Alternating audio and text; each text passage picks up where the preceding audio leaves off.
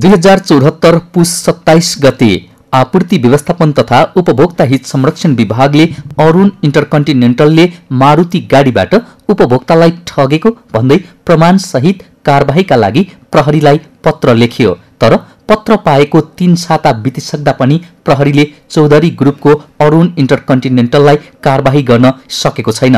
हामीले एक साता अघि जिज्ञासा राख्दा प्रहरीले अनुसन्धानको प्रक्रियामा रहेको दावी गरेको थियो। अनुसन्धान प्रक्रिया अगाडि बढाएका छौँ र केही कुराहरू हामीले सोधपुछ पनि गरेका छौँ पत्रचार गरेका छौँ। त्यो पत्रचारको रिप्लाई आएको छ। पत्रचारको रिप्लाई आइसकेपछि के हो कसो हो भन्ने अगाडि बढ्यो अनुसन्धानमा प्रक्रियामा छैन। हामी तर अहिलेसम्म पनि प्रहरीले अनुसन्धान टुङ्ग्याएको छैन। प्रक्रिया अघि बढिसकेकाले अझै केही दिन लाग्ने प्रहरीको दावी छ। हुन पनि कम्पनीले विभिन्न शीर्षकमा उपभोक्तालाई पाइला पाइलामा ठग्ने गरेको भेटिएको छ।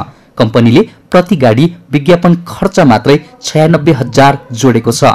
प्रशासनिक र कर्मचारी तलब खर्च भनेर छत्तिस हजार रुपियाँ एउटै गाडीमा जोडेको छ। त्यस्तै petrol mobil heater fitting accessories delivery जस्ता शीर्षकमा थप रकम समेत ग्राहकबाट नै भुक्तानी गरिरहेको छ। कम्पनीले उपभोक्तालाई बैङ्क ब्याज समेतको रकम प्रति गाडी सत्ताइस हजार पाँच सय रुपियाँ तिर्न लगाएको देखिन्छ। त्यति मात्र नभई गाडी बिक्री हुनु अघि सोरुममा पार्क गरेको शुल्क समेत बिस हजार रुपियाँ जोडेर उपभोक्ता ठगी गरिरहेको छ।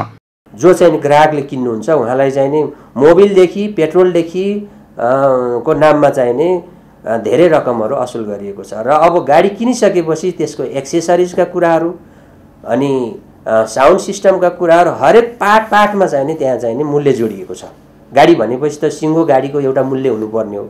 कम्पनीले एक हजार तिन सयवटा गाडी बिक्री गर्दा त्रिचालिस करोड रुपियाँ भन्दा बढी रकम उपभोक्ताबाट ठगेको विभागको दावी छ।